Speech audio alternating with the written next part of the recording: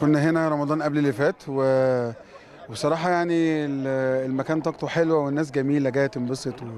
وإحنا يعني بنكون سعداء إن إحنا نكون موجودين وسط الناس عشان يستمتعوا معانا بأجواء رمضان والمديح والإنشاد يعني حاجة جميلة يعني تحس إنها مناسبة للأجواء يعني وسعداء قوي بالطاقة الحلوة والتجاوب الناس معانا و...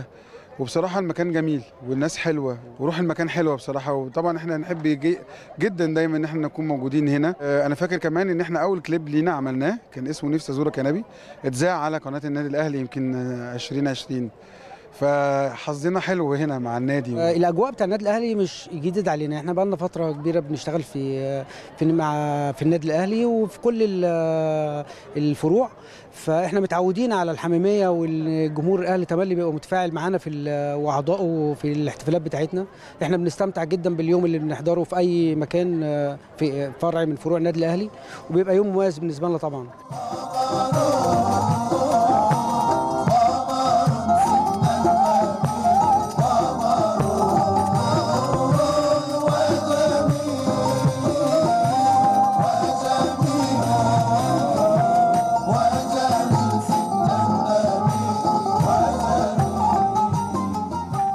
رمضان كريم علينا جميعا. آه، الأجواء جميلة زي ما أنتم شايفين مع إن الجو برد جدا النهارده بس زي ما انت شايف الإقبال الأعضاء آه، بيجوا يفطروا في النادي. يمكن أول أسبوع كان النادي فاضي شوية بعد كده ابتدى يتزحم.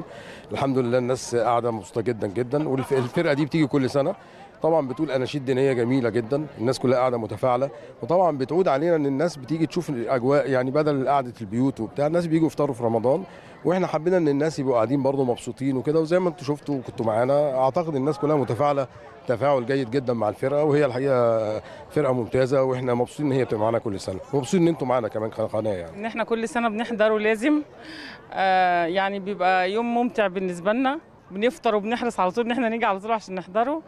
وبشكر طبعا اللجنة العليا بقياده الكابتن وليد مبروك لأنه كل سنة بصراحة يعني بيعمل لنا الحفل ده وبيسعدنا بيه ربنا يعني. آه طبعا استمتعت والأجواء كانت جميلة جدا وأجواء رمضان ليها أشكال مختلفة يعني أجواء مختلفة على طول. وهم على طول بيجيبوا الفرقة دي كل رمضان فالأجواء كانت جميلة جدا. الله الله